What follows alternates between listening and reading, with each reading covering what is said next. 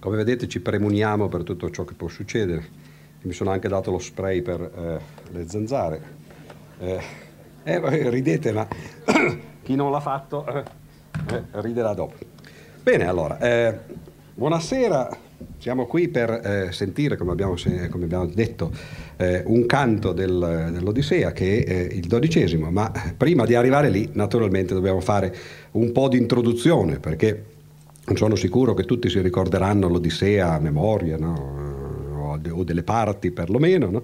e eh, quindi vi racconto anzitutto prima un po' l'impianto eh, di eh, questo grande libro e poi eh, entriamo nei eh, dettagli. Naturalmente spero che sappiate che eh, io non sono eh, né Paolo Rossi né uno degli attori che si sono avvicendati e si avvicendano in, in questa lettura e, e, che quindi è inutile che io declami con la mia voce eh, versi che poi eh, sono stati scritti in un'altra lingua, ma ne parleremo, no?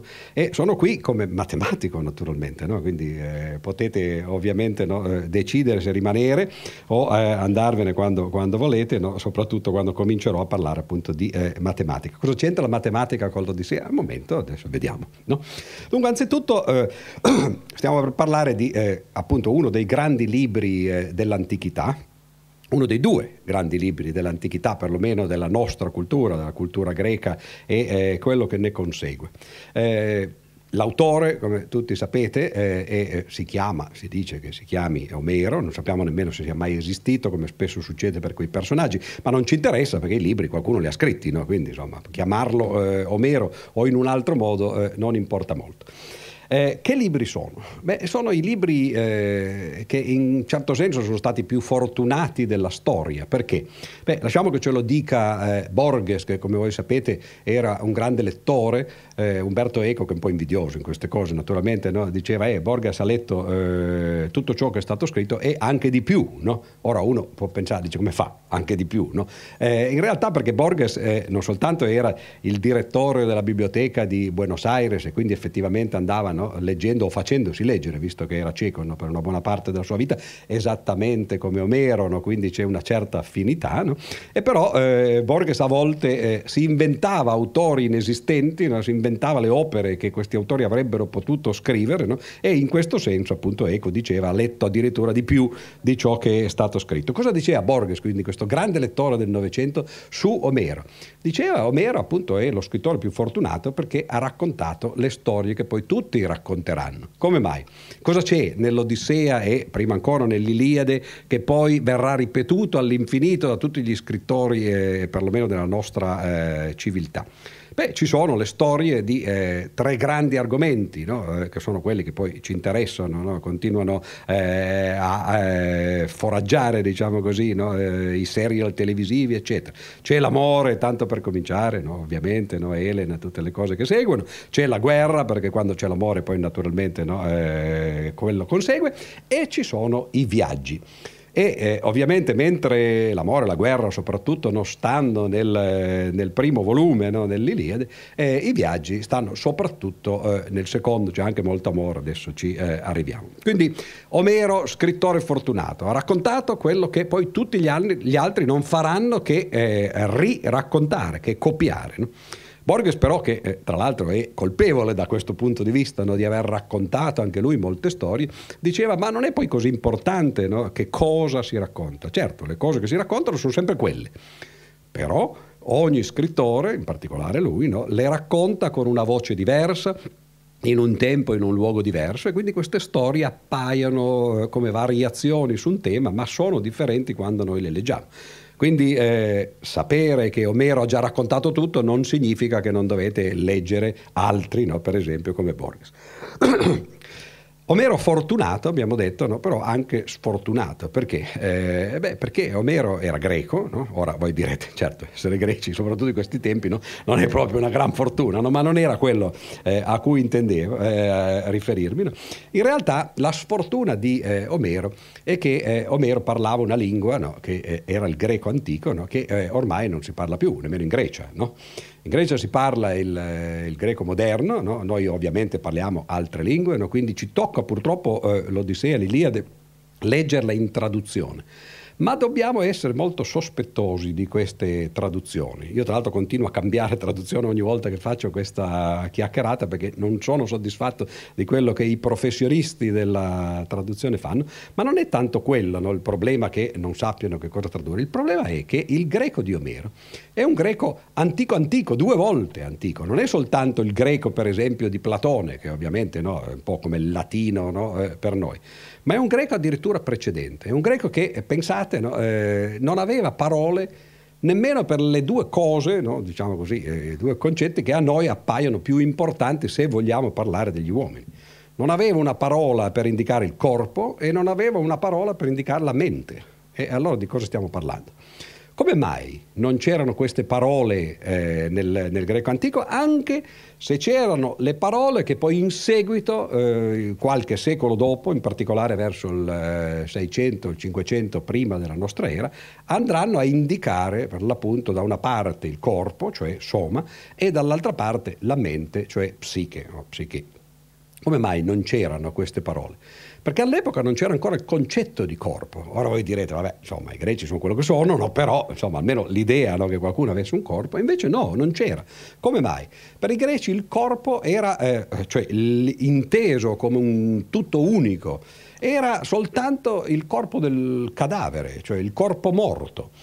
Mentre invece quando si parlava di un corpo vivo, beh, c'erano le, le, varie membra di questo corpo, ma ciascuna aveva una specie di vitalità autonoma.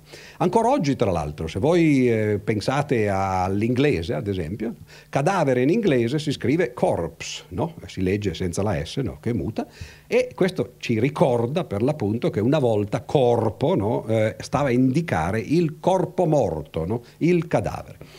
E eh, come facevano i greci a guardare a un corpo vivo invece? Beh, vedevano le sue membra, per esempio vedevano le mani, le avambraccia, le braccia, il torso, la testa e così via. Sapevano che c'erano organi interni naturalmente. Quando dovevano riferirsi a ciò che noi oggi eh, indichiamo con una parola generica e generale, la mente, la coscienza, eccetera, indicavano quali erano gli effetti di questa, noi diremmo oggi, no, di questa suppostamente, di questa supposta coscienza, sulle varie membra. E allora, per esempio, non so, eh, quando si vede qualcuno, una signorina, pensate per esempio no, Ulisse che sbarca su una spiaggia, no, lo vedremo tra un momento, no, e vede davanti Nausicaa, no, che cosa fa? E beh, incomincia a battergli il cuore, il respiro incomincia ad affannarsi, la voce comincia a stridere, non è più così, le gambe un po' gli cedono no? e così via. Tutto questo per una signorina. No? E quindi immaginiamolo se fossimo in guerra, eccetera. Queste sono le emozioni. Le emozioni venivano viste non... Eh, ipostatizzate come facciamo noi oggi, che siamo imbevuti di filosofia e crediamo a tutte queste cose che esistono no, indipendentemente. Le emozioni erano semplicemente gli effetti che queste emozioni provocavano sulle varie parti del, del corpo umano. E allora considerare, parlare del corpo e della mente, cioè delle emozioni e delle azioni no? in questo modo, faceva sì che la lingua di Omero fosse molto diversa dalla lingua che poi noi siamo abituati ad usare oggi. Anche questo è una delle difficoltà della traduzione di Omero. Cioè non capire no, che in realtà quando si vedono parole che poi in seguito hanno acquistato un significato diverso, e beh, quelle parole all'epoca non stavano a indicare per l'appunto le cose che eh, indicano oggi. C'è un bel libro che, eh, di un signore si chiama James che eh, si intitola Il crollo della mente bicamerale. Come mai? Beh, perché eh, i greci avevano anche altri problemi, oltre a quelli, vedete no, che lista, no? sembra, sembra, quasi la troica no? che sta elencando quali sono eh, appunto i problemi della Grecia. Avevano un problema che è il più importante di tutti, che ha a che fare vagamente con questo concetto di psiche, di mente o, o di coscienza eh, al quale ho accennato. Il fatto che eh, e molti di voi se lo ricorderanno no, per aver visto sceneggiati no, oppure per eh, più culturalmente no, aver letto traduzioni o addirittura l'originale del, eh, dell'Odissea o dell'Iliade.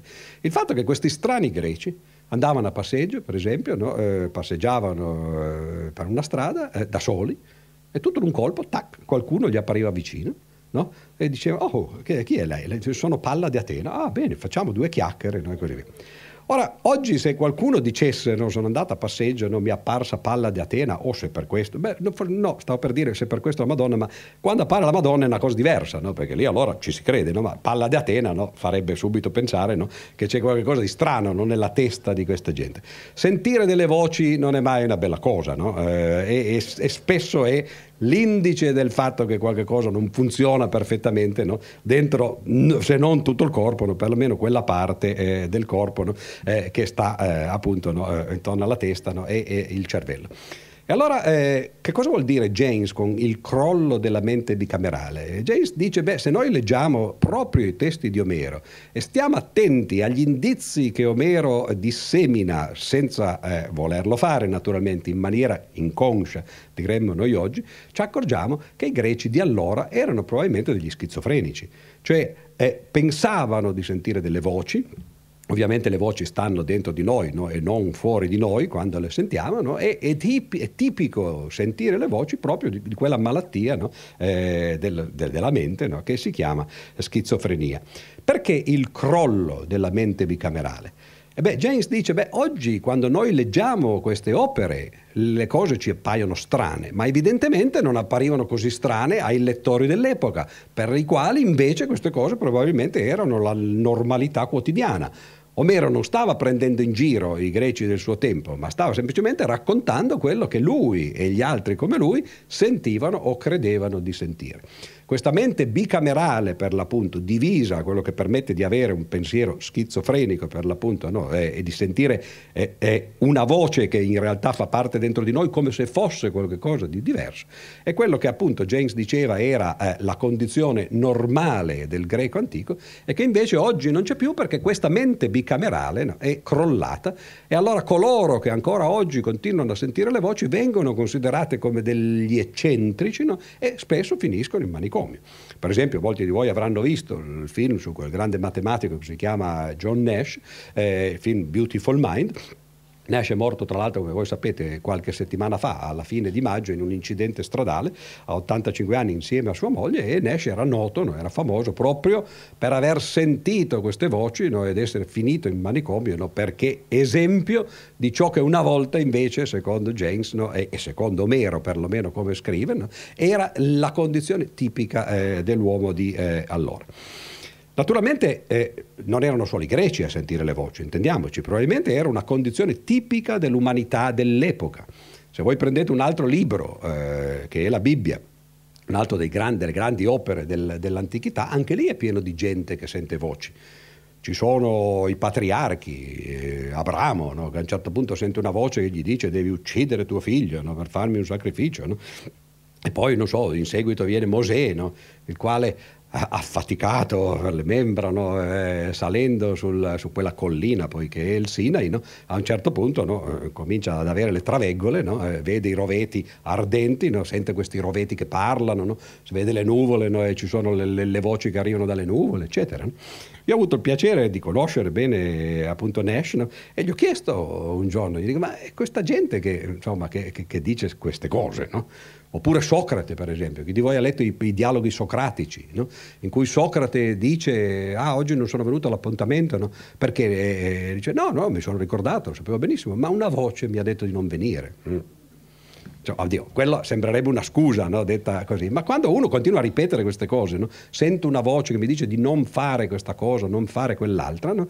e, e, questo è problematico. Infatti Nash dice, beh certo, se uno che dicesse queste cose gli si potrebbe consigliare di non dirla ad alta voce, perché altrimenti eh, finirebbe male.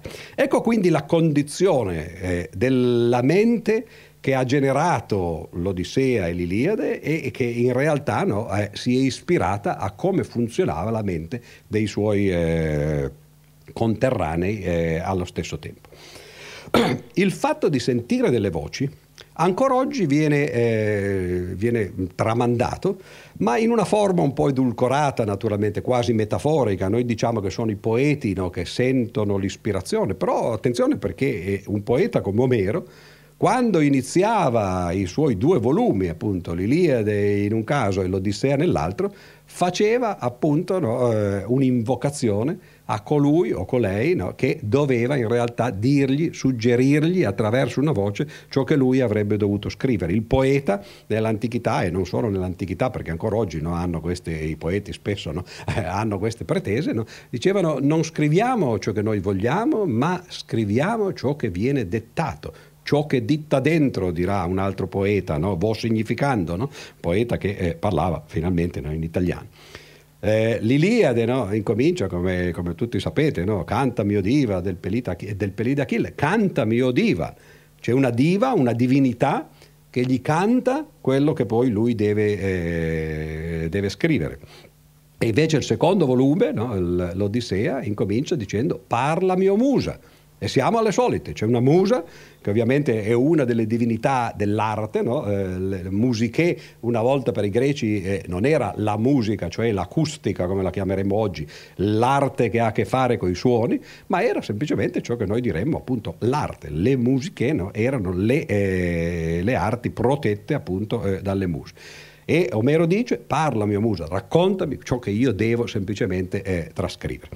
E eh, naturalmente questa ispirazione è quella che appunto i poeti no, sostengono di, eh, di, avere. Bene, questa è semplicemente no, eh, una premessa, no? stiamo cercando di capire eh, come eh, Omero eh, era dentro di sé, come cercava di riflettere eh, il suo tempo e, e, e la sua gente.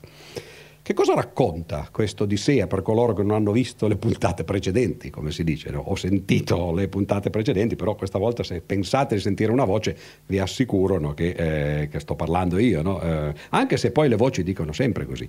Tra l'altro è interessante che la voce di Socrate dicesse sempre non fare queste cose e non gli dicesse invece fai queste altre cose.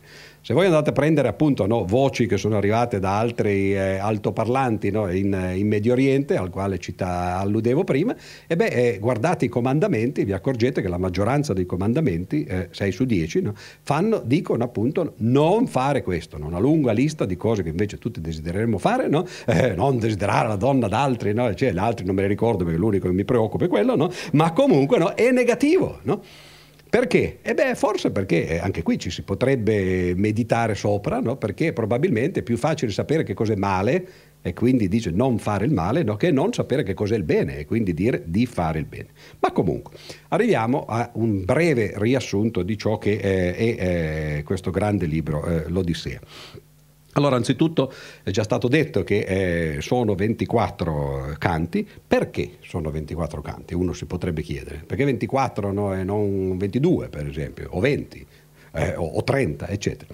Beh, la cosa interessante perché eh, i greci eh, che erano questi grandi letterati, no? eh, ovviamente non c'era solo Merano, ce ne sono tanti altri che sono venuti dopo, no? grandi filosofi, non erano poi quei grandi aritmetici, erano dei grandi matematici anche, grandi geometri, Euclide per esempio no? e così via, ma non erano questi grandi aritmetici, non sapevano scrivere i numeri, non avevano nemmeno delle cifre No, a parte lo zero, che ovviamente quello poi non ce l'aveva nessuno, no? eccetto gli indiani molti secoli dopo, no? in realtà 1500 anni dopo Omero, pensate, ma eh, e, e, comunque 700-800 anni dopo Euclide, non avevano le cifre nemmeno per 1, 2, 3, eccetera, fino a 9. E allora come facevano a scrivere i numeri? Usavano le lettere dell'alfabeto. Perché? Eh beh, agli inizi i numeri si indicavano semplicemente in maniera molto convenzionale, dipendeva da dove si era. I numeri in genere sono stati eh, identificati con le parti del nostro corpo, quindi era abbastanza tipico dire per esempio il numero uno, chiamarlo pollice per esempio, numero due, chiamarlo indice, no, medio e così via. No? E poi continuare, ci sono parti del nostro corpo, però è un po' convenzionale partire da una mano, da delle dita e non invece dalle parti ad esempio della nostra testa e così via. Quindi eh, per molti secoli, per millenni in realtà, i popoli diversi, in particolare i popoli del Mediterraneo, avevano ciascuno un modo diverso di identificare i numeri, di chiamarli, di nominarli attraverso parole. Ma ci fu un momento, eh, molti secoli prima di eh, Omero, circa cinque secoli, siamo nel 1500 prima della nostra era, quando i fenici, in realtà eh, cartaginesi poi, no? Così, eh, incominciarono a scoprire quello che poi divenne eh, l'alfabeto, la scrittura. identificarono una ventina di simboli, nell'alfabeto fenicio erano 22 di questi simboli, e l'alfabeto praticamente invase l'intero Mediterraneo perché era una di quelle tecnologie, oggi noi non ce ne accorgiamo, ce lo insegnano fin dall'elementare, anche prima ormai, no? quindi lo prendiamo così, è scontato per noi. Ma era stato, è stata una delle grandi tecnologie che hanno cambiato la storia della civiltà e la storia soprattutto della cultura.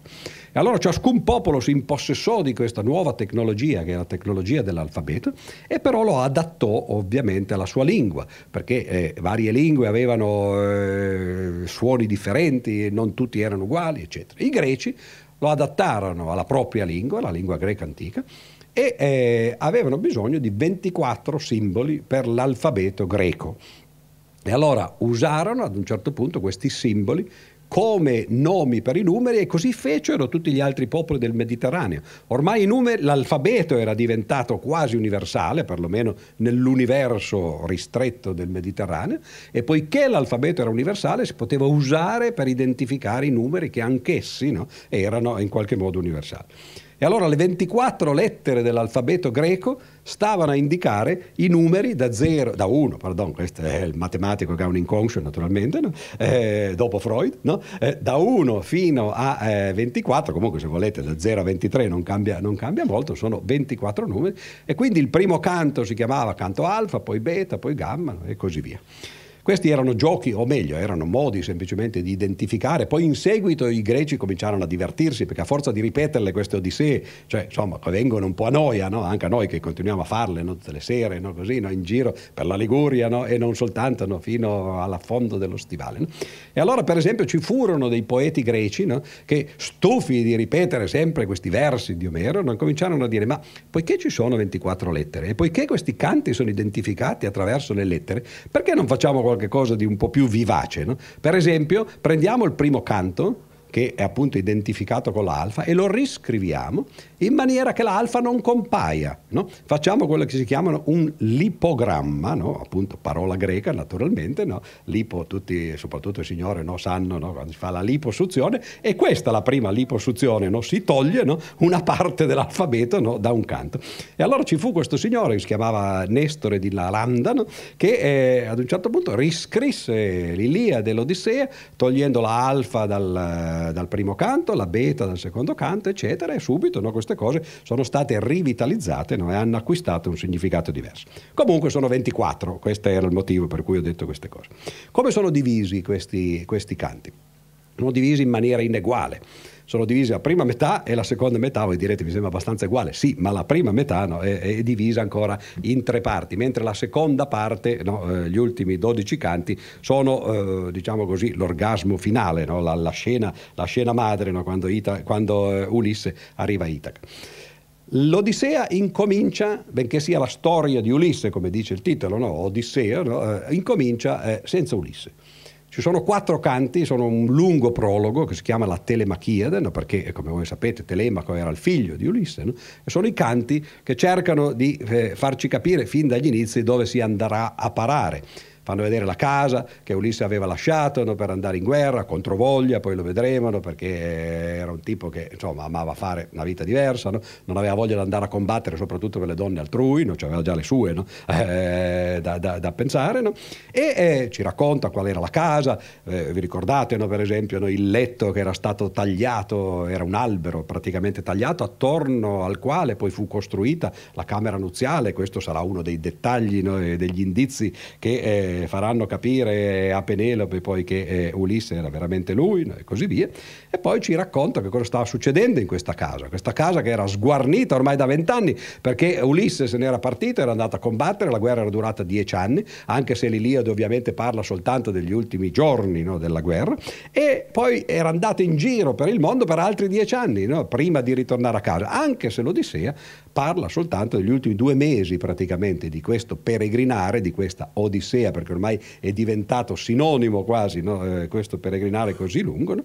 e quindi questo è il setting, diciamo così, no? il, eh, la scenografia di ciò che succederà alla fine. Quattro canti per questo. Poi ci sono i canti, gli altri quattro eh, successivi, i canti dal, dal quinto all'ottavo, in cui eh, in realtà finalmente vediamo eh, Ulisse. Eh, naturalmente voi non avete le lampade eh, su di voi e in un certo senso è positivo questa cosa perché le lampade attraggono eh, a causa della forza elettromagnetica. Tra un po' avrò una nuvola no? e non pensiate che io sia un rovetta ardente che parlano, eccetera. Sono, sono proprio io no? in mezzo ai, mo, a, ai moscerini no? e comunque mi sono spruzzato, quindi spero che almeno questo mi, eh, mi permetta. Eh, allora, che cosa succede nel quinto canto quando finalmente incomincia eh, l'Odissea? Finalmente vediamo il protagonista. Cosa fa il protagonista? È girato dall'altra parte, in questo caso, perché il mare è lì, sta guardando lontano nel mare. La suggestione che vorremmo, dovremmo avere no, da questa scena è che sta guardando verso Itaca, perché là c'è la sua amata moglie, no? Penelope che la sta aspettando, lui vuole andare da Penelope, sono passati vent'anni, no? si sta struggendo di questo amore. Poi però ci guardiamo intorno e dici, ma dov'è eh, Ulisse? E beh, è in un'isola, no? nell'isola di Ogigia. Ed è lì naufrago da solo, no? come ogni tanto si vede nei film di Hollywood. Ma che? C'è una signora con lui, no? eh, una signora, niente male tra l'altro, si chiama Calipso, una ninfa. E poi ci sono tre bambini, da dove saltano fuori questi bambini? Sono saltati fuori dalla ninfa, ma chi ce l'ha messi dentro però? Eh? Ce l'ha messi dentro Ulisse, no? Il quale sta guardando no, a questa moglie che ha lasciato laggiù con un figlio da vent'anni, no?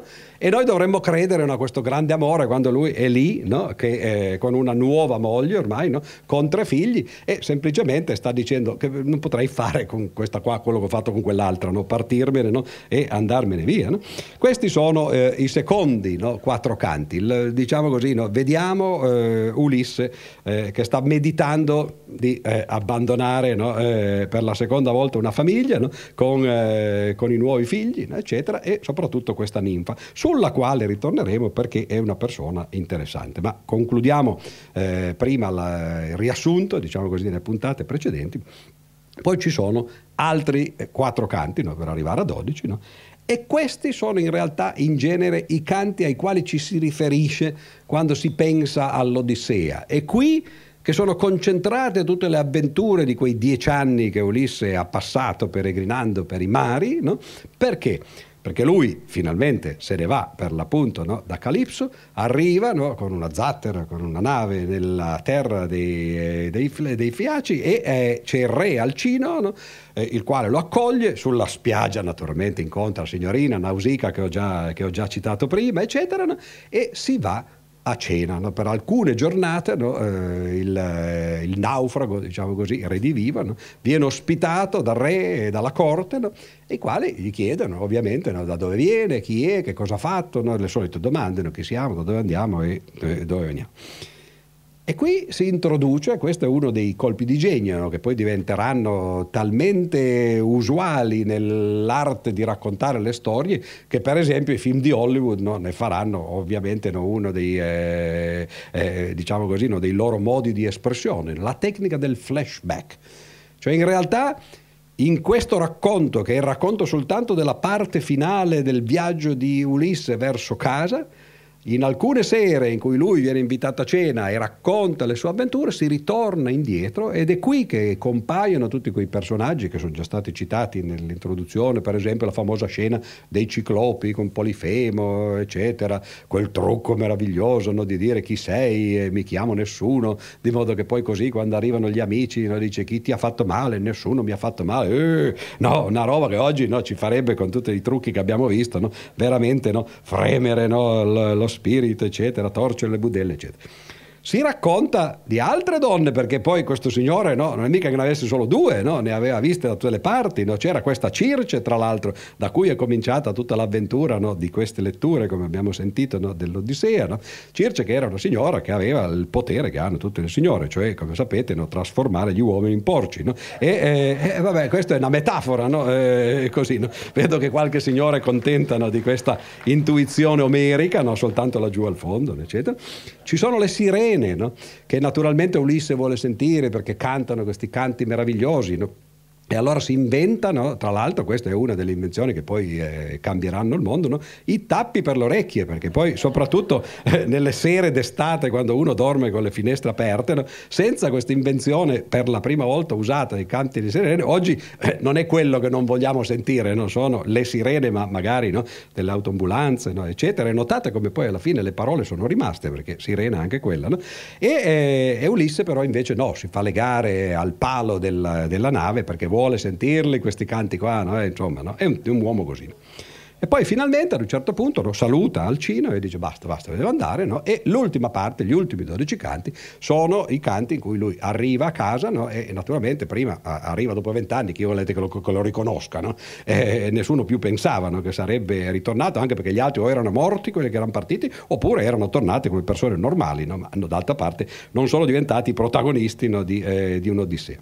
Allora, prima di andare avanti però, Volevo fare una piccola meditazione sulla signora Calipso, no? perché eh, Calipso era rappresentata eh, all'epoca eh, come eh, la dea velata, no? aveva un velo che la copriva, come d'altra parte eh, molte signore lo usano ancora oggi, no? e eh, che cosa succede a Calipso? Quando si trova di fronte a un signore come Ulisse, per l'appunto, no, che questo, leo, questo, velo insomma, vorrebbe, eh, con tutto rispetto naturalmente, no, però toglierlo, no? vorrebbe vedere cosa c'è sotto a questo velo. Succede in, letteralmente in greco quello che si chiama un'apocalissi. Apocalipsis significa quella, che non significa mi faccio la signorina Calipso, no? bensì no? tolgo il velo no? con cui Calipso no? è identificata. L'Apocalissi vuol dire solo quello, Apo è privativo e Calipsis è appunto il, eh, la velatura. E allora Apocalissi è la, il disvelamento, lo svelare ciò che è velato, lo scoprire ciò che è coperto. No? Ora notate che queste sono parole che sono arrivate addirittura fino a noi in italiano attraverso i calchi prima latini no? e poi ovviamente no? eh, le, le, le, le, traduzioni italiane. Noi abbiamo questo concetto di vedere qualcuno che è velato, qualcosa che è velato e cercare di togliere questo velo, di scoprire cosa sta sotto a ciò che è nascosto. Ora questo è uno dei modi in cui i greci identificavano il concetto che noi eh, chiamiamo verità. La verità per i greci era tante cose, adesso ne vedremo anche un'altra, no? ma questa era una delle più importanti, no? era il disvelamento, no? la scoperta. E che tipo di verità è questa? Beh, è la verità di qualcuno che guarda intorno a sé, ci sono delle cose che non capisce, che non vede perché sono nascoste, appunto, e lui vuole togliere questo velo che le copre per cercare di capirle meglio. Pensate per esempio eh, agli inizi del Novecento, quando la nuova fisica stava, stava, nascendo, la meccanica quantistica, Albert Einstein, che ormai era uno dei eh, riconosciuti santoni della nuova fisica, e nel comitato di laurea di un principe francese no? che si chiamava De Broglie, no? un, signor, ragazzo all'epoca, no? comunque principe, perché è figlio di principi, e questo signore presenta una tesi, una tesi che poi rivoluzionerà la meccanica quantistica, di lì incomincia la rivoluzione a prendere piede. Einstein è tra i commissari, legge la tesi e il suo giudizio su questa tesi è eh, De Broglie ha sollevato un lembo del grande velo sono passati 3.000 anni no? da, eh, da, Omero no? e da Calipso, eccetera, no? e siamo ancora lì. Cioè Einstein ha questa immagine della natura. La natura è coperta da un grande velo e naturalmente non è che uno toglie il velo e vede tutto, no, si alza di qui, di là, si vede così a brandelli, un pezzettino qui, un pezzettino là. E questa è l'immagine della verità scientifica. La natura ci appare coperta, velata. Calipso è una, eh, un simbolo, diciamo così, una metafora eh, della natura, delle cose che ci stanno intorno e noi siamo in realtà no, eh, dei seguaci, no, degli eponimi di, eh, di Ulisse perché cerchiamo di guardare, di curiosare sotto questo velo. Quindi è una nozione di verità molto importante che è quella alla quale in genere noi eh, ci riferiamo quando diciamo abbiamo scoperto una verità. No? Eh, scoperto vuol dire proprio quello.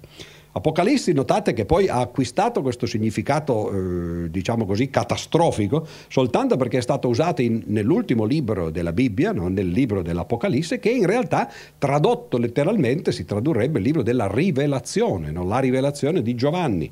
Giovanni, il quale si era fumato non si sa che cosa, no? prima di scrivere quel libro, basta leggerlo, e naturalmente si capisce che è altro che rivelazione, quello, insomma, vabbè, comunque, è come quei film, no? train spotting, si potrebbe dire, ma comunque comunque no, eh, invece di tradurlo come rivelazione si è, si è lasciata la parola no, originale greca, Apocalissi, uno legge sta roba no, e dice mamma mia questo è un Apocalissi, ma vuol soltanto dire quello. Ci sono altre nozioni di verità che avevano i greci? Beh, certamente, questa è la cosa interessante. La nozione più importante per i greci non era questa qui, perché noi oggi consideriamo la scoperta scientifica come l'esempio tipico di scoperta di verità. Ma i greci, che erano dei razionalisti, da una parte, quelli che lo erano naturalmente, no? perché era un popolo diviso no? eh, già allora, no? in, in, parti diverse, ricordatevi Nietzsche per esempio, l'Apollineo e il Dionisiaco. Qui sto parlando ovviamente dell'Apollineo, poi c'erano pure quegli altri facevano i bacanali, eccetera, ma erano eh, altra gente. No? E allora per i greci la parte più importante della verità era la verità razionale. No? E anche questa era una verità identificata con una parola negativa, esattamente come apocalipsis, no? solo che si chiamava aletheia. Che cos'è che veniva negato da questo A?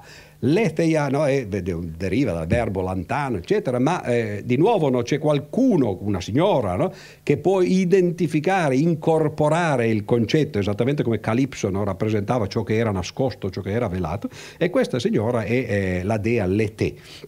Lete a noi italiani no, è nota no? perché eh, Dante poi ha usato l'espressione, le, le, la metafora di Letè nel famoso fiume, che ovviamente era un fiume metaforico no? eh, della, mitologia, della, mitologia, greca, il fiume in cui le anime del purgatorio, dopo essere state purgate, eh, pure io sto solo in un purgatorio, ma comunque vabbè, spero che, eh, che questo mi farà eh, dei, eh, diciamo così, dei meriti per il futuro, visto che ho tanti demeriti quella, da, da quella parrocchia. E allora dicevano, eh, le anime del purgatorio che hanno già pagato la colpa di aver commesso dei peccati veniali, ovviamente, perché se hanno commesso dei peccati mortali arderanno nel fuoco eterno, no? in questa visione apocalittica no? Del, dell'aldilà che hanno eh, i cristiani e, e, e coloro che li seguono. Che cosa succede? Questi hanno commesso dei peccati veniali, hanno, per, hanno pagato il, la pena per questi peccati veniali, possono andare finalmente in paradiso. Però c'è un problema perché andrebbero in paradiso, certo, senza più la pena, no? Se, avendo scontato la pena, ma con la memoria di aver peccato. E questo non va bene perché il paradiso è un luogo, come tutti sapete, eccetera, dove queste cose nemmeno la memoria deve passare. E allora queste anime purgate si immergono, fanno questo bagno no? come nell'acqua di Lourdes, no? entrano lì dentro, no? escono dall'altra parte dell'Etè e si sono dimenticate quello che avevano fatto. Il Letè è il fiume dell'oblio e l'ete, la dea l'ete, è la dea dell'oblio. E allora aletheia che cosa significa? Significa qualcosa che non è eh, dimenticabile, no? In altre parole, qualcosa che è, è dentro di noi no? e, e, non possiamo scordarcene, assolutamente. E allora cosa significa questo? Significa che la verità indicata dall'aletheia è una verità che noi abbiamo già dentro, non c'è bisogno che la scopriamo. A volte magari non facciamo attenzione, non prestiamo attenzione a questa verità, ma se solo ci concentriamo un momento, no, questa verità è lì davanti a noi perché è inolvidabile, indimenticabile. No? È una strana concezione di verità, però se ci pensiamo un momento, nella modernità, ad esempio, chi di voi ha studiato filosofia, ha letto libri di filosofia, no? le meditazioni di Cartesio incominciano proprio così. Voglio sapere che cosa succede a questo mondo. E allora cosa faccio? Chiudo gli occhi e penso. Oggi, insomma, a scuola non ci insegnerebbero questo, voglio sapere come è fatto il mondo, apri gli occhi no? guarda come sono fatti no? le cose. Ma i razionalisti pensavano il contrario, pensavano appunto che le cose fossero già qui dentro. No? E allora se voglio sapere come sono, devo soltanto avere un momento di tranquillità, appunto chiudo gli occhi, ci penso e cerco di ritirarle fuori. Non di ricordarmele perché sono indimenticabili, ma soltanto di concentrarmi su di esse. Allora questa è appunto la verità eh, di ragione, a differenza dalla verità eh, in realtà scientifica che ha a che fare con la natura, qualche cosa che deve essere scoperta.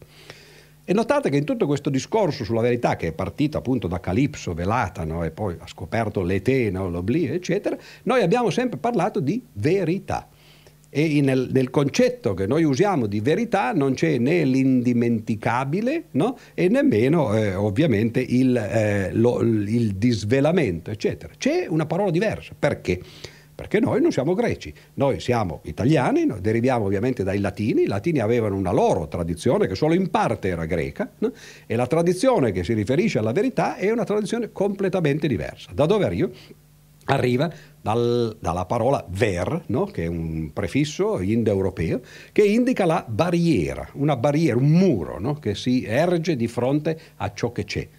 Cioè l'idea dei latini non era che la natura fosse lì, fosse coperta da un velo, ma si potesse in qualche modo scoprire. Non era nemmeno ancora come quella dei razionalisti, il fatto che eh, basta chiudere gli occhi no? e, e, poi ci pensiamo e ci arriviamo no? dove vogliamo eh, arrivare. È qualcosa che intanto c'è un muro davanti, non potremo mai sapere cosa c'è dietro è qualcosa che non possiamo raggiungere. Attenzione, il par- il in parte il motivo per cui noi siamo italiani no, è anche perché deriviamo da questa concezione di verità che ci hanno tramandato i latini e che, e, e, che è diversa da quella dei greci.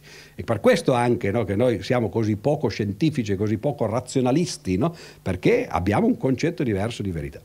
Questa barriera, un muro, dovrebbe essere diritto, messo di fronte alle cose. A volte questo muro non è ben fatto, è storto. E allora di qui derivano le espressioni, anzitutto il diritto. Che cos'è che noi chiamiamo il diritto? È la legge, semplicemente, è ciò che si fa nei tribunali. La nozione di verità dei, dei, latini è qualcosa che ha a che fare con la verità che si eh, determina nei tribunali. E quando il muro non è diritto, no, è storto, no, allora noi diciamo ancora oggi dobbiamo raddrizzare i torti, che a volte sono, per esempio, no, i bastoni, eccetera, che anche loro sono contorti, ma spesso è questo, questa barriera che dovrebbe essere diritta e che invece è storta. E allora che cos'è la verità latina, che non è la verità di ragione e non è nemmeno la verità scientifica? È la verità di fede. È la verità di colui che dice credo che queste siano le cose perché me l'ha detto qualcuno.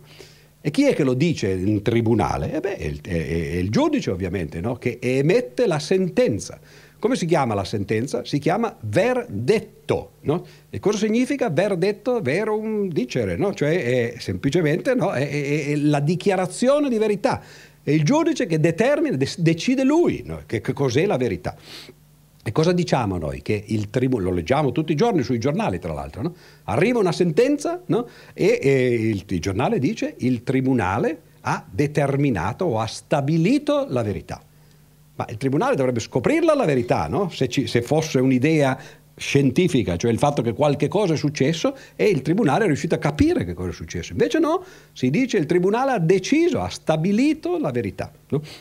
E infatti si usa un verbo che è verificare, no? e verificare di nuovo, no? verum facere, si rende vero. La dichiarazione di verità, il verdetto, rende vero, è lì che sta il senso della verità.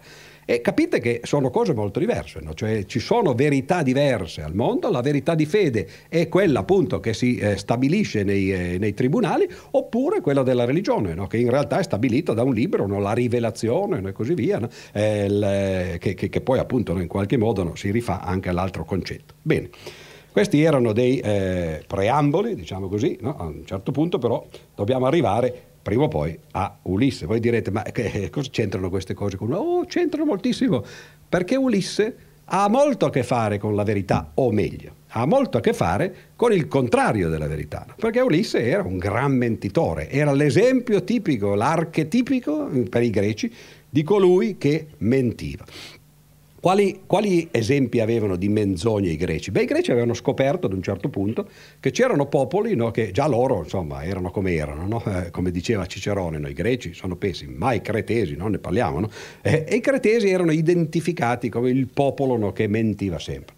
Ad un certo punto qualcuno, verso il terzo-quarto secolo, del, prima della nostra era, Eubulide, no, gente di questo genere, poi Epimenide, no, scoprirono un paradosso, un paradosso che è, è, un piccolo gioiello, no, che ha a che fare con il concetto di verità e di falsità. E il paradosso è semplicemente questo: i cretesi, che sono considerati come personaggi che dicono, che mentono sempre, no? ad un certo punto ne arriva uno di questi cretesi e che dice io sono cretese e i cretesi mentono sempre. Aia. Perché eh, se è vero no, che i cretesi mentono sempre, lui è un cretese, no? e quindi appena detto qualche cosa dovrebbe essere falso, no? come facciamo a credergli? E allora la versione, diciamo così, smaterializzata, lasciando perdere noi cretesi, eccetera, eh, di questo paradosso è, è semplicemente uno che eh, eh, molti di voi avranno fatto esperienze di questo genere, sono stati arrestati per qualche piccola cosa, no? che hanno fatto, no? eh, poi rilasciati, come sempre succede, no? ma comunque portati di fronte ai carabinieri. E eh, ho visto ci sono dei vigili, ma non dei carabinieri, mi sembra, questa sera, spero, che poi altrimenti eh, la pagano, e vengono interrogati magari dai carabinieri dice cosa ha fatto? Eh, a un certo punto il carabiniere dubita, ma dice questo non, non me la sta raccontando giusta, no? E allora fa la domanda fatidica. Dice, ma lei sta dicendo la verità? E supponete che quando il carabiniere vi chiede, no, eh, lei sta dicendo la verità, voi rispondiate no. Il carabiniere si trova in difficoltà, no? perché dice cosa significa questo? Vediamo cosa significa. In altre parole, quello che ha appena parlato il testimone no, ha detto io mento, no? perché ha detto non sto dicendo la verità. Ora Carabiniere pensa, dice, ma eh, avrà detto il vero o avrà detto il falso? Vediamo, sono due casi, no, quindi non è che andiamo molto per le lunghe. No? Supponiamo che abbia detto il vero. Allora, se ha detto il vero, poiché ha detto io mento, e beh, quello che ha detto è vero, ma ha detto che mentiva, quindi se è vero, quello che ha detto è falso. Allora non è possibile, sarà l'altro. Ah, momento.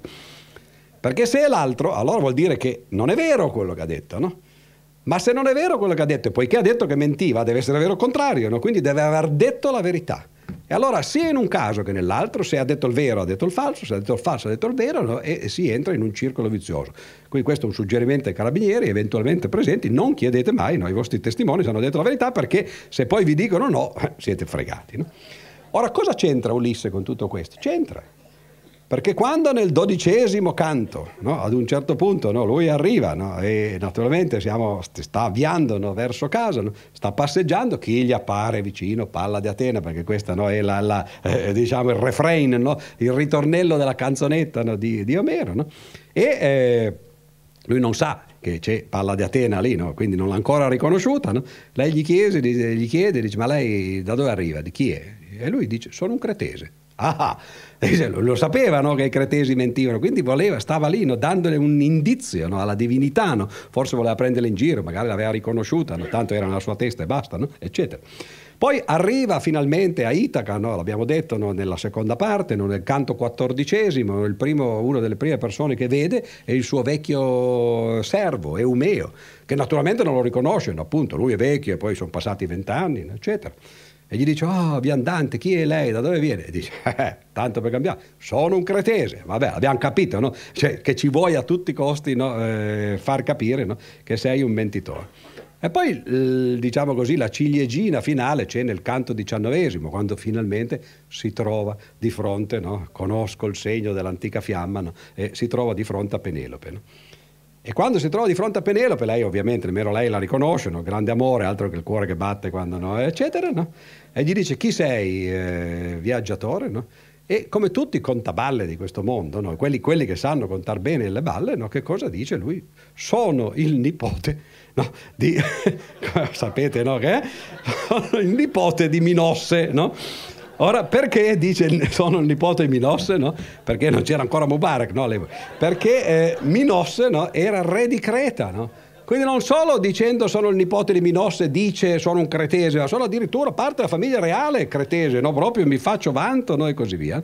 E quindi quando noi abbiamo svillaneggiato no? quest'uomo che in fondo ha Dell'Utri tra i suoi consiglieri, grande bibliofilo, probabilmente erano citazioni queste, sono il nipote di Mubarak. Cioè, questa è la grande odissea del, del corpo. Va bene. Allora, bene, grazie. Ulisse comunque è considerato, appunto per questo ho fatto questa divagazione sulla verità, proprio perché è considerato no, il mentitore per eccellenza, al punto che, vi ho detto, no, quando doveva andare in guerra, no, agli inizi lui non ci voleva andare, e addirittura cerca di mentire con gli eroi greci che vengono a chiedergli di arruolarsi per la grande guerra il, eh, che, che, che, andranno a liberare Elena eh, da Troia, eccetera. E lui si nasconde, addirittura si traveste, cioè mente addirittura nei, nei vestiti, no? cerca di farsi passare per qualcun altro, no? non, non, sono io, no? non devo venire per farsi passare per un contadino, ma questi lo scoprono subito, dice eccolo qua, eh, Ulisse che si sta eh, nascondendo. Bene. Siamo arrivati al dunque allora. Qual è il problema dei buoi? Perché poi ricordatevi, no? C'è, appunto, no? stiamo arrivando, ma... Eh. Allora, nel canto undicesimo, in quei flashback che vi ho detto no, nella seconda parte della prima parte, cioè nei canti, eh, pardon, nella terza parte della prima parte, insomma, dai, nei canti dal nono al dodicesimo, lui sta raccontando no, alcune cose che gli sono successe. Una di queste ancora più incredibile delle altre, ma poi intanto sarebbe anche questa diventata un topos no, della letteratura fantastica eh, di altri tempi e di altri luoghi. Dice: Sono sceso nel regno dei morti. Eh, vabbè, ok, questo ce la racconta e così via. E chi ti trova nel regno dei morti eh, quando, eh, quando, ci, quando, ci, scende? Ci trova un signore no, che si chiama Tiresia, che era eh, eh, un indovino cieco, siamo sempre qua, no? naturalmente Omero era cieco, Borges era cieco, Tiresi era cieco, no? perché? Perché l'idea è proprio quella che vi ho accennato prima, no? della verità dei greci, non c'è bisogno di guardare se uno vuole la verità razionale, anzi Cartesio chiude gli occhi, e chi meglio di un cieco non ha nemmeno bisogno di aprirli perché intanto non vede, vede col potere della mente e non ha bisogno del potere degli occhi, è una visione diversa. E allora che cosa gli dice Tiresia? Eh, gli, gli, predice il futuro e Ulisse chiede, dice ma dopo tutto sto peregrinare ci arriverò finalmente da moglie mia, no? da, da, Penelope oppure no? E Tiresia gli dice queste parole. Allora sentiamo così no, brevemente alcuni dei, eh, dei versi. No? Pur sebbene a gran pena Itaca avrai, sol che te stesso e i tuoi compagni affreni quando, tutti del mar vinti perigli, approderai col ben formato legno alla verde trinacria isola, in cui pascon del sol che tutto vede ed ode i nitidi montoni e i buoi lucenti. Se pasceranno illesi, e a voi non caglia, che della patria il rivederla dato, benché a stento vi fia. Ma dove osiate lana o corno toccargli, eccidio ai tuoi, e alla nave, io predico, e a te stesso, e ancor che morte tu schivassi, tardo fora ed infausto e senza un sol compagno su nave straniera il tuo ritorno. A parte questi versi, no? Così, no? Che cosa gli dice Tiresia? Dice guarda che, attenzione, che c'è un passaggio, no? la stretta finale, di come si direbbe nella musica, no? quando tutte le voci convergono, no? e bisogna uscire da questa stretta. La stretta è quando arrivi in Sicilia. No? Sicilia no, potrebbe essere la tua tomba perché in Sicilia, la Trinacria isola, no? l'isola a tre punte, no? ci sono le mandrie del sole. E il sole è gelosissimo di queste mandrie no? e se tu gli provi a toccare queste mandrie, a mangiartele, a uccidertele, eccetera, ti dico che tutti i tuoi compagni moriranno e tu solo ritornerai ma con grandi pericoli no, e, e, e, con grande pasticci. Va bene, allora questa è la prima eh, profezia che gli viene fatta. Ce n'è un'altra in seguito, no? perché vi ricordate no, in uno di questi flashback ovviamente no, eh, Ulisse racconta eh, di quando è stata da Circe no? e eh, Circe anche lei eh, ha cercato di trattenerlo eccetera a un certo punto quando lui parte anche lei che è una maga ovviamente, quindi come il profeta, no? il veggente Tiresia, anche lei vede il futuro e gli fa a Ulisse la stessa profezia eh, di Tiresia. Non è difficile perché era Omero che stava inventando, quindi poteva mettere tutto insieme, ma comunque. No? Allora, cosa dice eh, Circe? Questa volta è lei che parla. Dice, allora incontro ti verranno le belle spiagge della Trinacria isola, dove pasce il gregge del sol, pasce l'armento, sette branchi di buoi, d'agnelle tanti e di teste cinquanta i branchi tutti. Non cresce o scema per Natale o morte branco, e le dive sono i loro pastori, Fetusa e Lampezzi il crin ricciute che partorì di Periona al figlio, ma questo non importa, no? eccetera, e vanno avanti, no? eccetera. L'importante no? è che gli dice di nuovo, ci sono queste mandrie del sole, non le toccare perché altrimenti finisci male. Però Circe, che sa come attirare l'attenzione degli uomini, eh, dà delle informazioni di più di quelle di Tiresia. Dice quante sono queste vacche del sole, eccetera. Di teste 50 i branchi tutti, quindi sono branchi di 50, eh, di 50 animali. Ce ne sono 7 branchi di buoi e 7 d'agnelle, d'agnelle tante. Totale quanti sono? 14. Qualcosa? Cosa? 14, vabbè, è vero. 14 branchi, ma 50 animali in ciascuno, quindi 14 per 50. E adesso dobbiamo andare a fare i conti grassi, grossi, no? se non facciamo questo. 50 per 14 fa, ho il calcolatore qua, no? fa 700, no? Ecco, allora che ci dà un'informazione, questo può essere interessante no? perché sappiamo che queste famose bra- eh, mandrie del sole, no? cioè erano poi 700 animali, insomma, non è che fosse una gran cosa, no? questo sole faceva tanto eh, il sofisticato, però. però nel dodicesimo canto, finalmente, no, che è quello che, eh, al quale siamo arrivati, no, eh, in questo canto eh, arrivano eh, Ulisse e i suoi compagni, no? Scilla e Caridi oltrepassate, in faccia la feconda ci apparve isola mena, ove il gregge del sol pasce l'armento, no? Cioè, è sempre la stessa storia, no? Cioè, si arriva finalmente al Cluno. I, eh, Ulisse e i suoi compagni scendono sulle spiagge no? Della, dell'isola Trinacria vedono queste, queste mandrie, prima Ulisse cerca di convincerli a non scendere. Perché dice gli avvisi all'or mi si svegliarono in mente del Teban Vate di Tiresia e della maga Circe, ch'io l'isola schivar del sol dovessi, da, di cui rallegra ogni vivente raggio. Ond'io compagni, lor dicea. Sembra Dante, no? Compagni, no? Dice, eh, però eh, gli fa un discorso diverso. Per quanto siate angosciati, la sentenza udite del Tebamvate e della maga Circe, ch'io l'isola schivar debba del sole, di cui rallegra vivente il raggio, esattamente uguale a prima. No?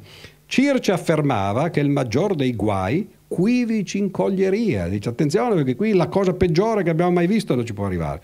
Lasciarla indietro ci conviene dunque con la negra nave per un'intera e poi naturalmente eh, lui cerca di convincerli e loro gli dicono eh, no ma dice se, se non ce la facciamo più no, avviciniamoci perlomeno alle rive si avvicinano alle rive, no? Dico, andiamo a mangiare, avevano delle provviste ancora sulla nave, no? quindi Ulisse pensa, dice vabbè forse non è poi così preoccupante, no? cioè ci mangiamo quello che abbiamo e poi ce ne ripartiamo.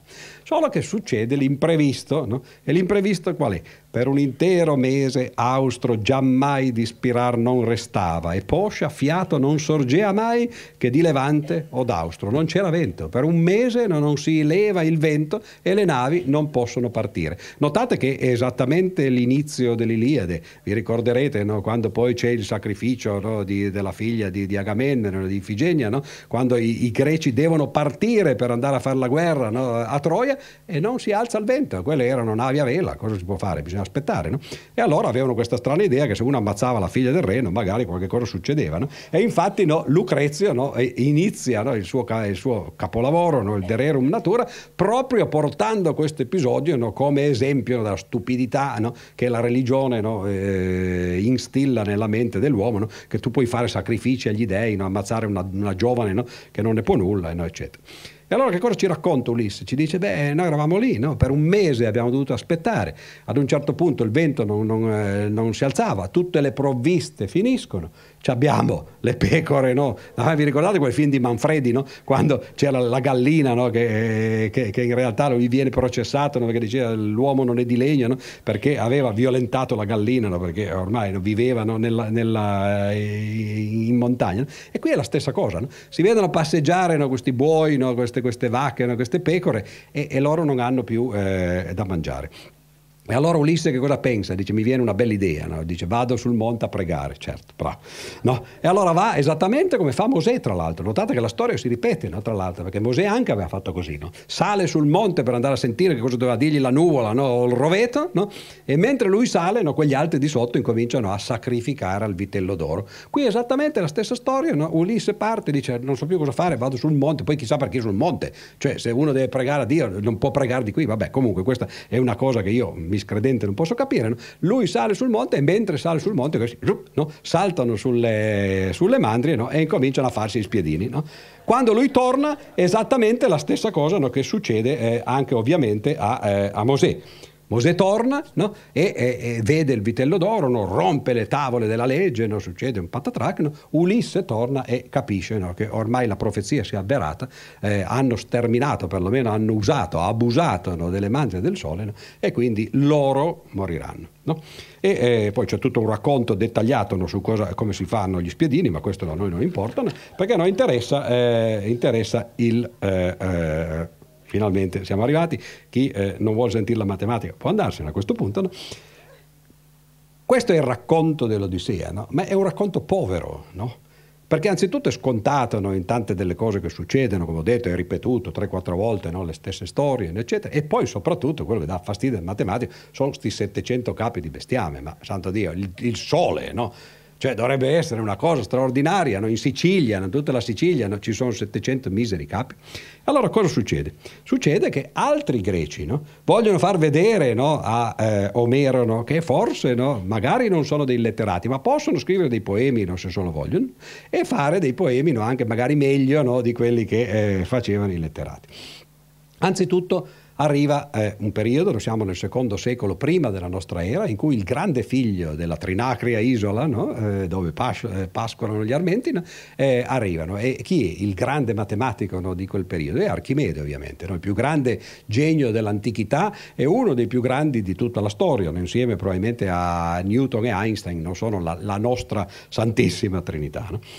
E allora Archimede vuole eh, capire anzitutto eh, eh, questa questione de, de, delle spiagge, no? perché Omero dice sì, le spiagge della Trinacria Isola, ma un po' più di precisione non si potrebbe avere. Per esempio, quanti sono i granelli delle spiagge sulla, de, della Sicilia? Questo è un problema interessante, no? E eh, eh, magari anche di più uno vorrebbe sapere. Allora che fa? Prende carta e penna o l'analogo dell'epoca, no? cera e stiletto, no? e scrive al tiranno no? di, eh, di, Siracusa, Gelone, e gli dice, state a sentire, alcuni, o re Gelone, credono che il numero dei granelli di sabbia sia infinito e mi riferisco non solo ai granelli che si trovano a Siracusa nei suoi dintorni, o nel resto della Sicilia anche, ma nell'intero mondo, abitato o no. Cioè vuole sapere quanti sono i granelli di sabbia di tutto il mondo. No? Questo sì che è finalmente un problema come si deve. No? Altri no, credono, notate che lui dice alcuni credono che il numero dei granelli di sabbia sia infinito perché è la cosa più ovvia, no? che uno dice ma eh, prendo un, un, pugno di sabbia già mi accorgono che di granelli qua ce n'è parecchi, no? se poi devo pensare a quelli che ci sono in tutto il mondo ce ne saranno infiniti. E lui dice altri credono che il numero, più sensati, che il numero dei granelli sia finito ma che non se ne possa descrivere uno maggiore di esso, cioè no, è un numero finito, ma più, eh, più grande non c'è. Ora, evidentemente no, quelli lì non conoscevano Zavattini, per esempio. No? Qualcuno di voi eh, eh, avrà letto questo racconto di Zavattini che si chiama La gara di matematica. No? È una gara in cui c'è eh, un papà, meglio un bambino che ormai è diventato adulto, che ricorda quando era bambino appunto che il papà l'aveva portato a questa gara di matematica. La gara di matematica sarebbe stata vinta da chi avesse nominato il numero più grande possibile. E allora il bambino dice: Sono andato con mio papà, no? Eh, la mamma è rimasta a casa, no? e lui mi ha portato, no? c'era tutta la gente sugli spalti che faceva il tifo. Eh, strano immaginare che si faccia il tifo per cose di questo genere, ma comunque evidentemente nella fantasia di Zavattini si poteva fare. Allora cosa succede? No? Si comincia agli inizi 5, 20, 2000, un miliardo, no? cioè vabbè, insomma, qui è, solo riscaldamento. No? E ad un certo punto ce n'è uno che dice un numero enorme, no? sembra che abbia vinto, invece il papà del bambino scende nell'arena e incomincia a dire un miliardo, di miliardi, di miliardi, di miliardi, di miliardi, e poi comincia, gli manca il fiato, va giù per terra, continua a dire miliardi, di miliardi, miliardi, miliardi, e alla fine cioè, è lì quasi agonizzante e, e, tutti cominciano no, ormai ad alzarsi in piedi, no, a battere le mani no, perché lo vogliono decretare eh, il vincitore della gara e si sente rantolare da uno di quelli che erano stati ormai battuti così per terra che dice più uno. E que- e allora naturalmente no, poi il bambino ritorna, ricorda che il papà lo porta a terra, no, lo riporta a casa piangente, no, la mamma lo vede, lo abbraccia e il papà gli dice se avessi detto più due avrei vinto io. E allora il problema qui è, è, è, questo qua, che dice alcuni credono che il, gran, il numero dei granelli di sabbia sia finito ma che non se ne possa descrivere uno maggiore di esso. Sono ingenui, no? perché pensano di aver trovato il numero più grande, no? ma quando uno dice più uno, è tabella che fregato, no? ce n'è uno di più uno e quindi è più grande, o almeno, dice lui, maggiore del numero dei granelli di sabbia necessari a ricoprire tutte le caverne, i mari, a ricoprire le cime di tutti i monti, eccetera, eccetera. Ma io, Archimede, ti mostrerò che fra i numeri che ho nominato in un libro, eccetera, ce ne sono alcuni che superano il numero dei granelli di sabbia che riempirebbero non solo la Terra intera, ma addirittura l'intero universo. Qui eh, questo fa come il papà del bambino, no? cioè dice faccio un cambio di marcia, no? non mi interessa più i granelli della, della Terra, tutto l'universo. Quanti sono i granelli di sabbia che possono riempire l'intero universo? Eh, adesso a questo punto no, eh, si è messo in gioco bisogna calcolare, ma non è un calcolo poi così difficile se ci pensate, perché l'universo come è fatto? Eh, questo è il problema, uno. dei problemi. Granelli di sabbia possiamo immaginarci, sono dei pallini piccoli piccoli, no? hanno una certa dimensione, delle sferette. No? L'universo come ce lo si immagina? Beh, si può immaginarselo come una grande sfera, no?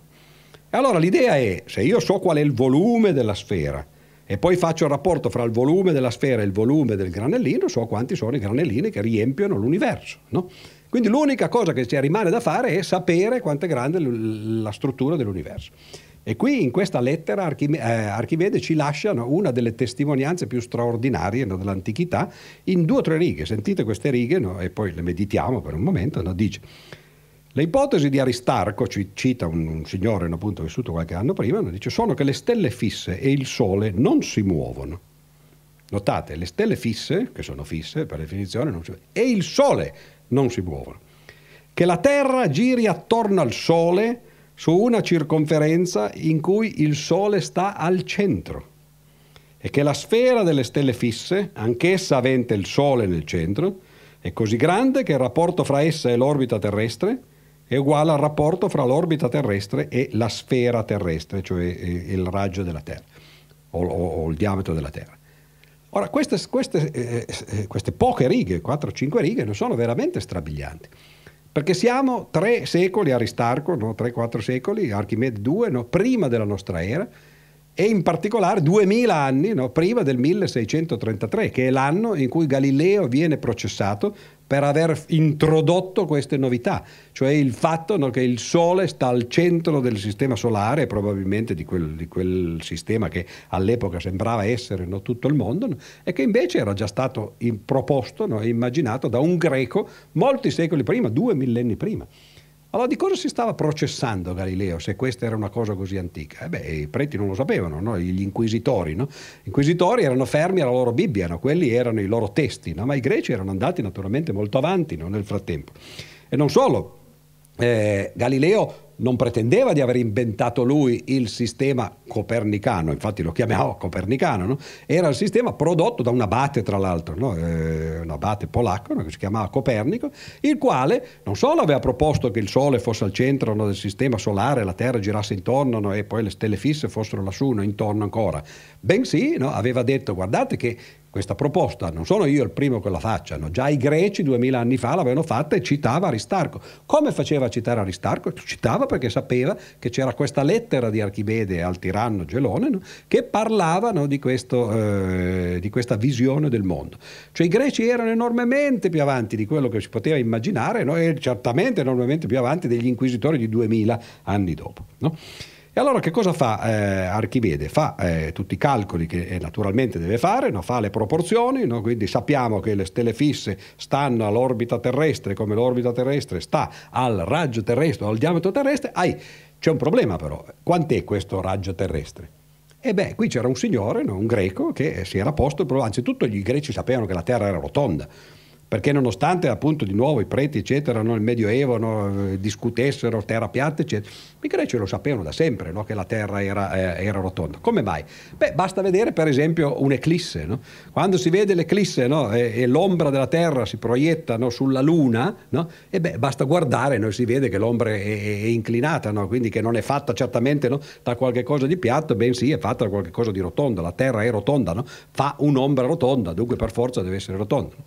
Oppure no? basta andare lungo il Nilo, ad esempio. No? Il Nilo, tra l'altro, è, è, è praticamente un fiume rettilineo no? che va eh, da sud a nord verso il Mediterraneo, verso Alessandria d'Egitto, passa attraverso le cateratte, eccetera. E uno passeggia lungo il Nilo e si accorge, guardando il cielo di notte, che le costellazioni cambiano, salgono o scendono nel, nel cielo, il che vuol dire che ci si sta muovendo, certamente non in piano, perché altrimenti rimarrebbero lì, bensì si sta muovendo su qualche cosa che è rotondo. O non c'è bisogno poi nemmeno di fare tutte queste grandi cose, basta guardare il mare, no? Cosa, mentre Ulisse lì sull'isola di Ogigia può anche fare un'osservazione scientifica mentre c'è, no? vede una nave che arriva no? e la prima cosa che vede della nave so, che, che, arriva sono eh, gli alberi, no? Eh, la punta degli alberi e solo alla fine vede lo scafo no? che, che, sta arrivando. Come mai? E beh, ovviamente se la nave stesse arrivando in piano, beh, si vedrebbe tutta insieme, no? E invece si vede perché sta salendo no? lungo eh, la, la, la, la, curvatura del, della, della, Terra. No? Quindi queste cose i greci le sapevano benissimo. Sapevano addirittura talmente tante cose, no? e questa forse vi stupiranno, che avevano persino scoperto l'esistenza dell'America. Voi direte, eh, non erano i vichinghi, ma non c'entrano i vichinghi, perché i greci l'avevano scoperta per davvero come avevano fatto un altro signore molto importante nella storia della, della scienza, praticamente sconosciuto ai più, no? eh, eh, che non si interessano di scienza, che si chiama Ipparcono, anche lui vissuto un paio di secoli no? prima della nostra era, che cosa aveva fatto? aveva visto che i greci, no, eh, insieme ad Alessandro Magno, erano andati in India no, verso il 300, no, così, Alessandro era arrivato fino alle, alle, alle foci dell'Indo, no? si era portato dietro ovviamente no, tutto un gruppo di, di, di osservatori, di scienziati no? di, che, che, stessero a osservare quello che vedevano mentre si muovevano in questi, in questi viaggi di conquista. E questi osservatori avevano osservato come erano le maree dell'Oceano Indiano quali erano le periodicità, le altezze delle maree, eccetera. Avevano scoperto che era una cosa completamente diversa l'Oceano Indiano dal Mar Mediterraneo, ma questo si sapeva, il Mar Mediterraneo è un catino chiuso, no? mentre quello è l'Oceano aperto. No? Però un'altra spedizione, più o meno nello stesso periodo, era andata verso i mari del nord no? e aveva fatto osservazioni analoghe aveva osservato le maree dei vari del nord, eccetera, e si era accorto che comunque anche quelle erano completamente diverse, non solo da quelle del Mediterraneo, ma da quelle dell'Oceano Indiano. E allora, mentre il Mediterraneo era un catino chiuso, non dava fastidio, ma il fatto che le maree dell'Oceano Indiano e quelle del mare del nord fossero diverse, faceva sì che non poteva essere lo stesso oceano, no? perché altrimenti sarebbero stati quello che si chiamano i vasi comunicanti, no? quindi si sarebbero alzati e sollevati e, e, e abbassati nel, nello stesso modo. E allora qual era l'idea di Aristarco? Ci deve essere qualcosa che interferisce, no? che è messo tra l'Oceano Indiano da una parte e tra il mare del nord dall'altra, che, che chiude la via all'acqua. E non può essere un continente anche grande, no, lui non lo diceva, ma noi potremmo dirlo così, come l'Australia, no? perché benché grande l'Australia è pur sempre un'isola in cui l'acqua passa sopra e sotto. No? Quindi deve essere, diceva eh, Ipparco, un continente che parte da un polo e arriva fino all'altro polo. Cioè aveva capito che ci doveva essere un continente americano che è fatto esattamente come è fatto, cioè che, che parte da, da, una parte e arriva fin dall'altra. Altrimenti no, queste maree sarebbero diverse. Quindi questi erano i greci no, di una volta. E allora Archimede si basa su queste idee, fa un conto e il conto che fa è un numero che è parecchio grande no? ed è eh, quello che oggi noi con, nostri, con le nostre notazioni indicheremo come 10 alla 63.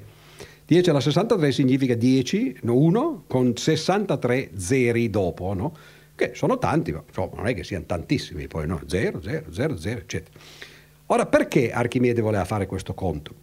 Perché voleva insegnare ai greci che la loro lingua forse era una lingua un po' limitata, l'abbiamo già visto prima, no? Non avevano nemmeno le cifre per i numeri, no? quindi dovevano usare le lettere dell'alfabeto, eccetera. Come facevano a indicare i grandi numeri? Avevano una parola che indicava il numero più grande possibile e questa parola è una parola che ancora noi oggi usiamo in un senso però più che altro metaforico, benché eh, all'epoca avesse un significato preciso, e si chiamava miriade. La miriade era 10 alla quarta, cioè 10.000. Tutto qua. Allora quando noi oggi diciamo una miriade di stelle, ma la miriade di stelle è poco, no? sono 10.000 stelle, no? però per noi è diventato un grande numero perché lo era per i greci. Però se è 10 alla quarta e dobbiamo scrivere 10 alla 63, facciamo 64 che viene più facile, no? 64 diviso 2 fa 32, diviso 2 fa 16. Bisogna dire una miriade di miriade di miriade di miriade di miriade di miriade di miriade, miriade sono solo a metà, no? Siamo arrivati a 8, no? E bisogna dirlo 16 volte, no? E chi si accorge se poi l'abbiamo detto 16 o 17 o 15? Nessuno se ne accorge. No? Non si possono indicare i numeri grandi in questo modo, no? così banale. Allora l'idea di Archimede era per poter parlare di numeri così grandi dobbiamo avere un sistema di notazioni. E lui si inventò un sistema di notazioni in cui si iteravano i numeri in righe, in colonne, no? eccetera, e riuscì a dare dei numeri molto più efficaci che le miriade di miriade di miriadi, per numeri così grandi che fino agli inizi del Novecento, pensate voi, del 1900, no, nessun matematico, nessuno scienziato ha mai usato numeri che non si potessero nominare nel catalogo, diciamo così, di Archimede. Cioè ha fatto un passo che per duemila anni è riuscito a dare nomi a numeri grandi. Questa era l'idea, non è che gli interessasse tanto dei granelli di sabbia. E comunque la lettera finisce, poi dopo aver spiegato tutte queste cose al re, che mi immagino a questo punto fosse addormentato da un pezzo, no? dice immagino che queste cose, o re Gelone, appariranno appariranno incredibili alla maggioranza di coloro che non hanno studiato matematica, ma convinceranno invece coloro che la conoscono e hanno meditato su questioni come le distanze e le misure della Terra, della Luna, del Sole e dell'intero universo ed è per questo che ho pensato che l'argomento non sarebbe stato inappropriato per l'attenzione di un re e naturalmente anche di un uditorio come il vostro, no? ma siamo soltanto alla sabbia. No? Quindi questo c'è stato, avete capito, no? questo salto di qualità, no? quell'altro che dice arriveranno alle spiagge da Trinacria Isola, no? e questo dice quanti granelli di sabbia ci sono, no? calcoliamo quanti ce n'è nell'universo, eccetera. Ma ci sono ancora le vacche del sole. E allora Archimede questa volta capisce che qui deve proprio stracciarlo no? questo povero eh, Omero no? che era arrivato fino a 700 no? e allora eh, capisce che deve inventarsi un problema e si inventa questo problema però lascia perdere il re che aveva capito che insomma più, più, più, che, eh, eh, più, in là di tanto non andavano e si indirizza a, a, un signore che si chiama eh, Eratostene perché a Eratostene? perché era uno pari a lui era un signore che aveva permesso a Archimede di fare il calcolo che vi ho appena detto perché era colui che aveva calcolato qual era il raggio o il diametro, poi naturalmente modificandolo per due, della Terra. Come aveva fatto Eratostene a calcolare il raggio della Terra? La Terra era rotonda, l'abbiamo detto, no? quindi eh, lo sapevano i greci. E beh, eh, dunque, aveva osservato anzitutto, no? stiamo scoprendo, no? non è che chiudiamo gli occhi, guardiamo cosa succede e guardiamo in particolare cosa succede a Siene, vicino alla diga di Assuan di oggi, no? dove c'è un pozzo ancora oggi. C'è un pozzo in cui a mezzogiorno dell'equinozio eh, d'estate, che cosa succede? Il sole casca perpendicolo dentro il, eh, il pozzo. Non fa ombra, e allora Eratostene dice, oh, interessante, ma non c'è bisogno che ci vada, perché lo so che succede quello quel giorno lì. Io mi metto da un'altra parte e mi metto ad Alessandria no? e pianto un bastone. No? Se lo piantassi a Siena non succederebbe niente, no? non si vede nulla perché il sole è esattamente sopra. Ma lo pianto ad Alessandria e questo fa un'ombra. E quest'ombra quanto è lunga? Beh, è lunga un certo cosa, ma io posso fare la proporzione fra quest'ombra e quel fatto che là non c'è l'ombra e riesco a calcolare qual è l'angolo che fanno i due bastoni, uno nella diga di Assan e l'altro ad Alessandria. No? Quando so quest'angolo, poiché so che l'angolo intero è di 360 gradi, basta che sappia qual è la distanza fra il pozzo e Alessandria per fare la proporzione e ottenere la distanza, no? la lunghezza del, eh, diciamo così, del, dell'equatore, no? di tutto il giro. È chiaro il calcolo? No? Cioè, beh, come una torta, no? semplicemente abbiamo calcolato la fetta della torta piantando no, due forchette, no, due coltelli perpendicolari, uno ad Aswan, l'altro ad Alessandria, sappiamo qual è l'angolo no, e facciamo la proporzione. L'unica cosa che ci manca è sapere quanto è lunga questa distanza tra, eh, sul, sulla Terra tra Alessandria e, e, e Aswan. E, e, come si fa? Beh, certo, uno può andare col metro, però insomma ci mette un po' di tempo. E allora Eratostene ebbe un colpo di genio, dice, vabbè, io salto su un cammello, e vado avanti, no? vediamo quanto ci mette. No? Intanto si va lungo il Nilo, ve l'ho detto, no? sempre diritta. No? E va per 50 giorni, questo è l'esperimento di eh, Eratostene. Si accorge che ci vogliono 50 giorni a cammello per andare da Alessandria fino al pozzo, sa più o meno, perché questo gli hanno detto i mercanti, quante miglia, quanti chilometri fanno il cammello in un giorno, in media, moltiplica per 50 e il gioco è fatto. Quanto gli viene? 6.300 km il raggio della Terra. Quanto è il raggio della Terra? 6.340 km. E beh, insomma, dico, fatto con questi mezzi, no? a occhio, no? gli è venuto abbastanza bene. No? Quindi questo era un genio di quelli che sapeva fare i conti come si deve.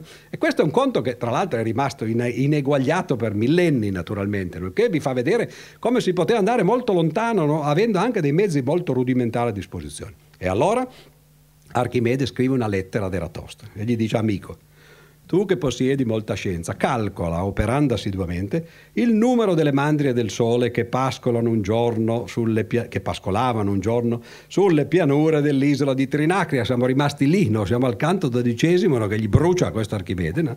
Però dice distribuite, ah, questa volta no, c'è un dispiegamento, questo sembra l'esercito, no? l'esercito di Saddam Hussein, no? che poi in 448 noi buttiamo a terra, ma comunque quattro gruppi, attenzione, di diverso colore, il primo bianco latte, il secondo nero brillante, il terzo di un fulvo dorato e il quarto screziato. Non importano i colori, ma ci sono quattro colori no? delle, eh, delle, vacche del, del, sole. In ogni mandria, anzitutto c'è una quantità considerevole di tori, così distribuiti. Allora, i bianchi sono uguali alla metà aumentata di un terzo dei neri più tutti i fulvi. I neri sono uguali alla quarta parte aumentata della quinta degli screziati più tutti i fulvi. I restanti screziati uguali alla sesta e alla settima parte dei tori bianchi di nuovo più tutti i fulvi, no? E così via. E questi sono solo i tori. Poi ci sono pure le vacche, no? E allora, no? E, e qui uno comincia, Omero si è già perso, no? si è suicidato, si è buttato in mare. No? Però la cosa interessante è che ci sono sette equazioni praticamente, no? e la cosa non è poi così complicata. No? Perché sono sette equazioni, no? ci sono otto incognite, no? sono i quattro colori dei tori, no? i quattro colori delle, delle vacche, si mettono insieme, si risolve con quei metodi che impariamo nelle superiori, eh? non è che ci sia bisogno di essere ratostene per questo. E infatti cosa dice Archimede? Dice, Amico, quando avrai determinato esattamente quanti erano i tori del sole e avrai stabilito quanti di ciascun calore, colore, e la stessa cosa per le vacche, non ti si potrà certo chiamare ignorante, né incolto in materia di numeri, ma certo non potrai ancora essere considerato un sapiente. Cioè gli ha detto questo è un riscaldamento soltanto, lo fanno anche gli studenti no, delle scuole italiane tra 2000 anni, no? lo sanno fare. Non è difficile, no? E se voi fate il calcolo, se avete scritto quanto, eh, ho visto che tutti prendono appunti, eccetera, eh, vedrete no, che, att- att- attenzione anzitutto, no? il sistema non è determinato, sono sette equazioni, ma otto incognite, quindi ce n'è una che balla, c'è un'informazione in meno. Quindi ci sono tante possibili soluzioni, ma la più piccola di queste soluzioni possibili è 50 milioni. Oh, finalmente no, da quei 700 miseri no, siamo arrivati a 50 milioni, ma lui dice attenzione perché questo è ancora poco. No? Manca una condizione no, per poter rendere il sistema determinato, no? ce ne vogliono otto di equazioni. E allora lui dice, esamina ora le maniere in cui i tori del Sole erano raggruppati. Quando quelli bianchi si mescolavano ai neri, formavano un gruppo con le stesse misure in profondità e larghezza e le vaste piane della trinacria erano riempite da questo ammasso quadrato. I fulvi e gli screziati formavano invece un gruppo che, cominciando con uno, si allargava fino a comporre una figura triangolare. Poi, boh, qui Archimede ci sta dicendo una cosa che a scuola non abbiamo imparato, perché noi se ci dava un'altra equazione, no? ad aggiungere alle sette, ne avevamo otto, otto equazioni, otto incognite, bu, bu, bu, bu, facciamo i calcoli e troviamo il risultato. Ma lui ci dà sette equazioni e poi ci dice, attenzione, perché due di queste, eh, di queste variabili no, messe insieme, cioè i, eh, i gruppi no, dei bianchi con i neri, devono essere un numero quadrato e gli altri due messi insieme devono essere un numero triangolare. Ora, i numeri quadrati quali sono? E beh, sono molto pochi, no? sono 4 ovviamente che è il quadrato di 2, no? poi 9 che è il quadrato di 3, 16 che è il quadrato di 4, 25, no? 36 eccetera, però ce n'è sempre meno. No? E come facciamo ad andare a vedere no, che la somma di quei due deve essere proprio uno di quelli? Eh, quello diventa complicato. E poi non basta perché gli altri due devono essere un numero triangolare. Come si fa a fare un numero triangolare? Beh, ce n'è uno, poi ce ne sono due che fa tre, no? poi ce n'è altri tre che fa sei, poi quattro che fa dieci, poi cinque che fa quindici. No? Quindi ci sono queste due serie di numeri strani, no? che ancora oggi si usano, soprattutto i quadrati, no? infatti si dice sempre no? numero quadrato, eccetera, e lui ci dice dobbiamo aggiungere a quelle sette equazioni queste, quest'altra condizione, due numeri, eh, uno quadrato e l'altro triangolare, quanto viene il risultato? Ah, e qui non sappiamo che cosa sia successo. La fine della lettera dice semplicemente amico, quando avrai trovato ed esposta la soluzione a questo problema, avrai indicato i numeri di tutte queste moltitudini, allora riposati e congratulati per la tua vittoria e sappi che sarai arrivato alla perfezione in questa scienza. Ora, eh, noi non sappiamo anzitutto se Eratostene no, ci arrivò, ma nemmeno Archimede, non abbiamo nessuna notizia. No? C'è questo problema, il famoso problema dei buoi, che notate è scritto in versi, sono 44 versi, no? perché questo voleva proprio anche andare no? a combattere, diciamo così, sul terreno di Omero. Ma chi è che ha risolto questo problema dei greci? E potete immaginarvelo, dei tedeschi, no? Perché eh, così succede, no? Anche oggi, no? Quindi alla fine dell'Ottocento, nel 1880, no, due tedeschi riuscirono per la prima volta a risolvere questo sistema. La prima parte facile, ma la seconda parte da mettere insieme a quell'altra. E venne fuori un numero che è dell'ordine di 10 alla, attenzione, i numeri del granelli di sabbia che riempivano l'universo erano 10 alla 63, 1 con 63 zeri. La soluzione di questo sistema delle vacche del Sole no, è 10 alla 200.000, cioè un 1 con 200.000 zeri no, di dietro. Ecco, questa era l'idea no, di Archimede, no? cioè trovare un problema che non è difficile da dire, che addirittura ha un'ispirazione classica, no? si ispira a tutte queste storie metaforiche, mitologiche di Omero, di, di Ulisse e così via, che però anche con un semplice, una semplice esposizione ci porta di necessità ad avere questi numeri enormi. Questo è quello che Archimede cercava di fare no, sul terreno della poesia, andando molto oltre ad Omero. Sono sicuro che voi naturalmente preferite invece le storielle di Circe, no, di Nausicaa, no, eccetera, però dovuto, uh, avreste dovuto aspettarvelo che il matematico invece voleva andare a parare esattamente a questa cosa e siamo arrivati. Allora alla fine le vacche eh, del Sole sono 10 alla 200 via e non 700. Se avete domande, eh, bene, altrimenti grazie.